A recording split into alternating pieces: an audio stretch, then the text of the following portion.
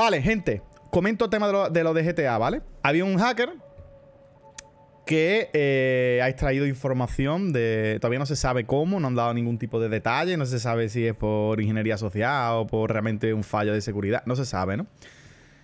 Pero bueno, sido un hacker que no es nada de los empleados, ¿vale? Exacto, es el mismo que filtró lo de Uber, efectivamente.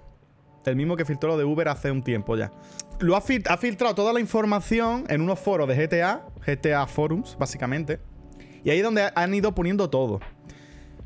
Luego la gente lo ha ido resubiendo a YouTube. Esto es importante porque me ha pasado mucha gente clips en plan de vídeos de YouTube de, las filtraciones y te pone la descripción del vídeo. Esto por, por habernos hecho crunch durante el desarrollo de GTA 6. Esto es por tratarnos mal a todos los empleados. Esta es nuestra venganza de todos los empleados por haber hecho tal. Eso es falso, ¿vale? Es fake porque eh, los vídeos no han sido directamente subidos a YouTube. Los vídeos han sido, subidos en, en un foro. Hay un, también imágenes supuestamente de Red Dead Redemption. Del remake de Red Dead Redemption que cancelaron, ¿vale? Supuestas imágenes son falsas también, ¿vale? Son falsísimas las imágenes. De hecho, en uno de los pantallazos se ve el emulador de Play 3, se ve el RCSP3 este.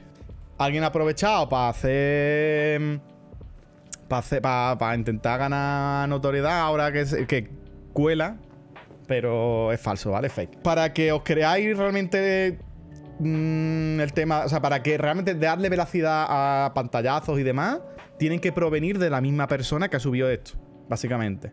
Si no, es falso. Buenos días, tardes, noches, Ludger. Me encuentro muy bien, gracias. El que no se encuentra también, yo creo que es Rockstar. Debería preguntarle a Rockstar, que están más jodidos, ¿eh? Bueno, tenemos vídeos, que ahora los veremos, de que se ve gameplay, tenemos temas de los chalas, se ven los personajes, se ve la lluvia. Es una alfa, ¿vale? Eh, se habla de 2019. De que los vídeos son de 2019. No sé, eh, sí visualmente no se va a ver, ¿vale? Finalmente. Aún así, el juego sale para Play 4, o eso han dicho. Entonces, tened en cuenta que tampoco va a ser una locura gráficamente lo más probable es que no sea una barbaridad. No lo creo. Será un punto intermedio entre Red Dead Redemption 2 y algo más avanzado, pero no mucho más. Que aún así, Red Dead Redemption 2 se ve increíble. O sea, Red Dead Redemption 2 gráficamente puede ser el juego más pepino de PlayStation 4.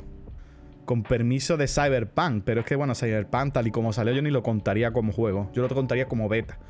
O sea, como demo técnica. Como demo que ha hecho un chavalillo como demo que ha hecho un chavalillo en su casa, porque es que salió Cyberpunk como el puto culo, ¿sabes? The Last of Us 2, gráficamente es una bestia también, pero es que Red Dead Redemption 2 de mundo abierto. Entonces, si mantiene ese nivel gráfico, yo creo que, yo creo que está bien, ¿no? O sea, si GTA 6 al final tiene un punto así, yo creo que está bien, que es un nivel que no, lo veo mal. A lo mejor puede decepcionar un poco porque llevan nueve putos años para sacar el juego. Hay que tener en cuenta una cosa, ¿vale? Se han filtrado muchos detallitos. Muchos de esos detalles son de esos clips o del código del juego. Hay cosas que luego lo capan los desarrolladores. Rox, que luego, antes de lanzar el juego, está en el código, estuvo en una alfa, pero por lo que sea, deciden quitarlo. Puede pasar. Entonces, hay cosas, por ejemplo, por, no, por no irnos muy lejos, GTA V. GTA V ya tenía cosas en modo, ya tenía en modo primera persona cuando salió originalmente, pero estaba capado por código. Igual que tenía, eh, también tenía la opción de, que es una cosa que también salió en el tráiler, de tumbarte. De que el personaje se tumbe y vaya arrastrándose por el suelo. Eso lo tenía ya en el código fuente de GTA. ¿Por qué capan estas cosas? Dicen, mm, no no queremos que esto, yo qué sé, salga en la versión definitiva porque hemos hecho pruebas internas y la gente no termina de convencerle este tema. O preferimos caparlo y sacar esto en una versión ultimate que sacaremos dentro de X años. Puede pasar. O simplemente porque, bueno, no les convence. No creen que lo que aporte merece merezca la pena y decidan quitarlo, ¿vale? Entonces, muchas de estas cosas a lo mejor las decimos y luego no están en la versión final, pero es porque las, la habrán capado. Sí, o a, lo, mejor incluso eh, hay una función. Imagínate que el modo primera persona. Em, hayan detectado que da unos problemas en, en ciertas partes del juego. Y en vez de ponerte a arreglarlo ahora, cuando es algo que no es fundamental, pues dice lo capamos. Lo capamos y ya lo arreglaremos y ya lo miraremos con más calma. O a lo mejor lo de ir tumbado por el suelo, lo mismo. Lo mismo daba problemas, daba bugs con ciertas zonas y tal, y había que rehacer ciertas cosas. Y dice, no nos compensa para algo que realmente no es fundamental en el juego. Pues venga, pues lo capamos y a tomar por culo, ¿no? Básicamente. Bueno, es en Vice City, volvemos a Miami. Lo que se habla es de que no es solo Vice City, sino que también va a tratar algunas ciudades, que esto también se rumoreó, que se hablaba de que va a tratar algunas ciudades de Latam. Er, me resulta raro porque es como si alguien hubiera empezado. Porque estos vídeos. ¿Vosotros creéis que estos vídeos los ha grabado Rockstar y los tenía ahí almacenados? No, no. Esto es que. El hacker lo ha ejecutado. Ha cogido el código y lo ha ejecutado para ir probando cosas.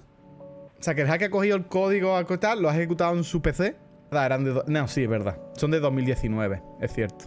Es verdad, es verdad. Es de 2019. O el tío lo hackeó en 2019 y ha estado callado como un asqueroso todo este tiempo. Por lo visto, lo de 2019 es porque vienen en, los metadatos. Que la, carpeta es de 2021, pero los aficheros son de 2019.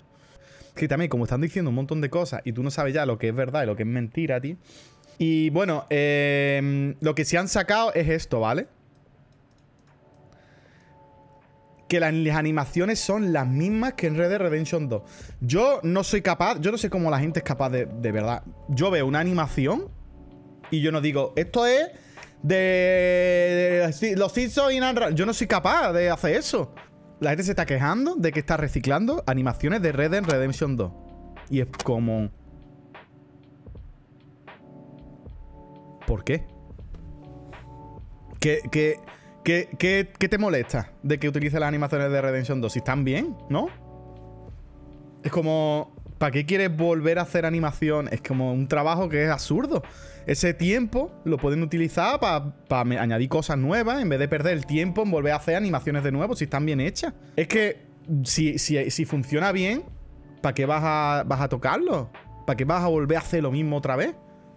¿Para, es que no sé, lo veo una tontería. Ese debate sale cada poco y es una chorrada, tío, que no lo entiendo. Es una cosa que me. Y con Elden Ring se formó que tú dices, tío.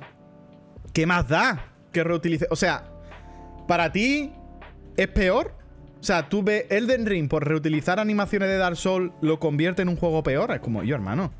Chico, eh, estás reutilizando recursos que ya tenías. ¿Qué tiene de malo? para mí, el colmo fue un nota que se, se estaba riendo. plan, qué cutres.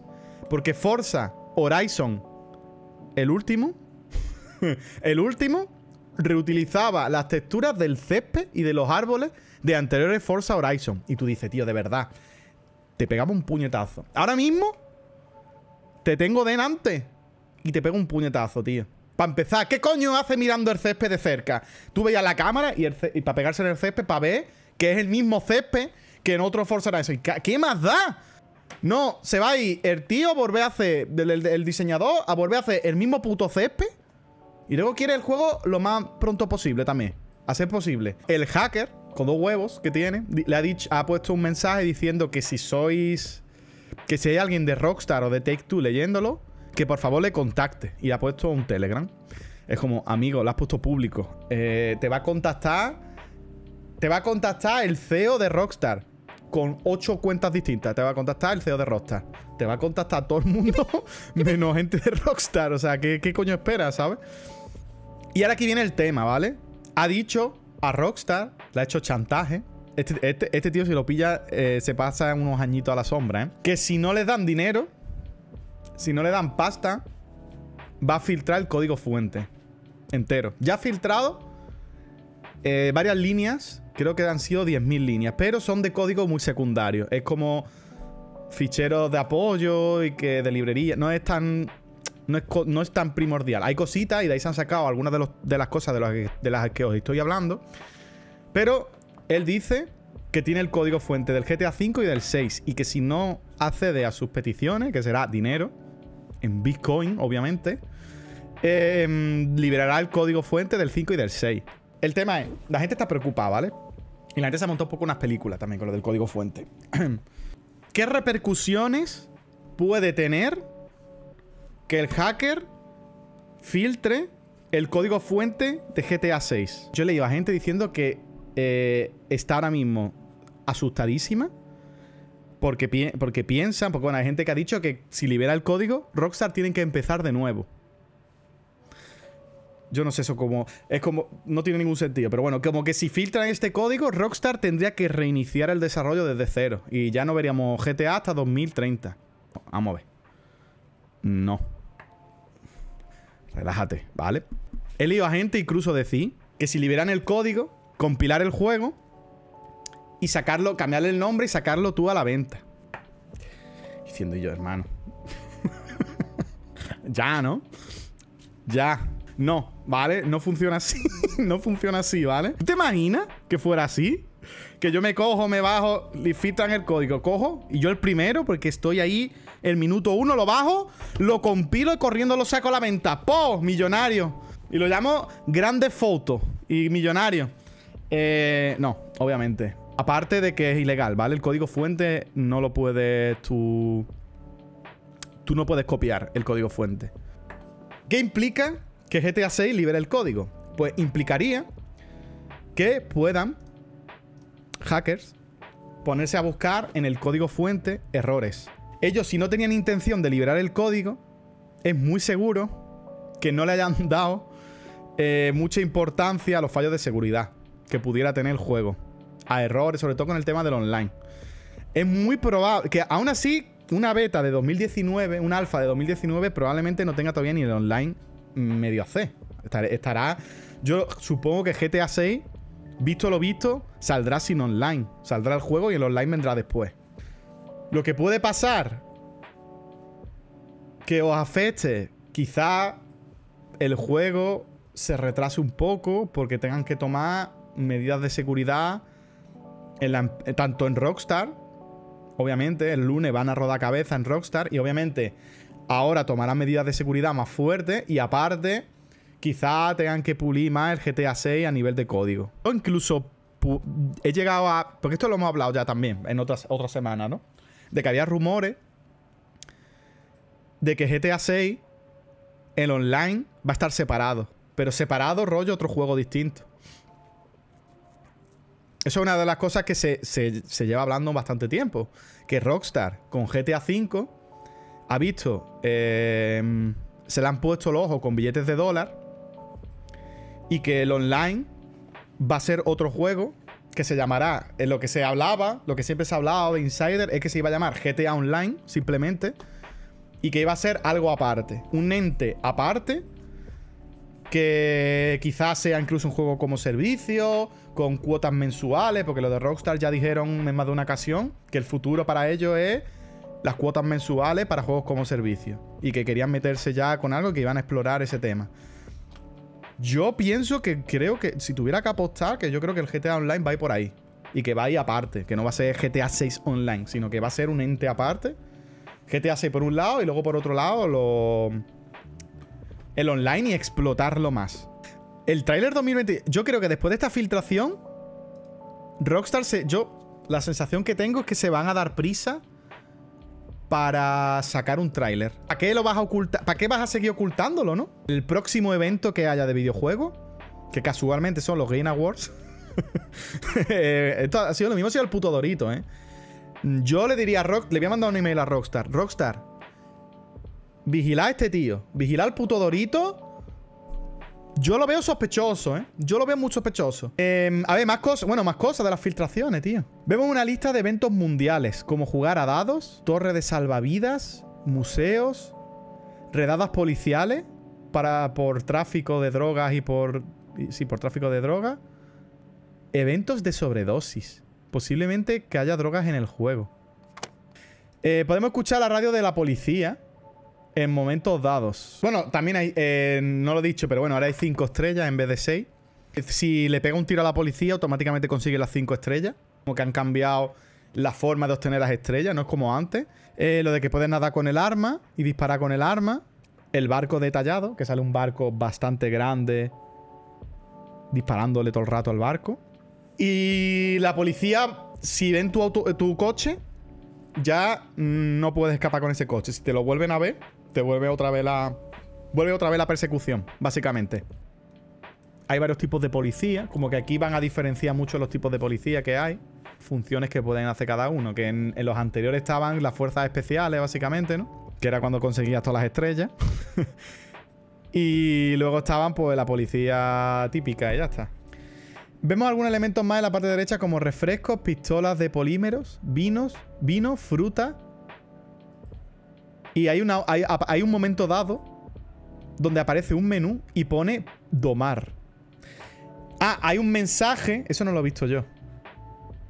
Pero dicen que hay un mensaje en un momento dado en el que aparece... Eh, ha recibido un WhatsApp.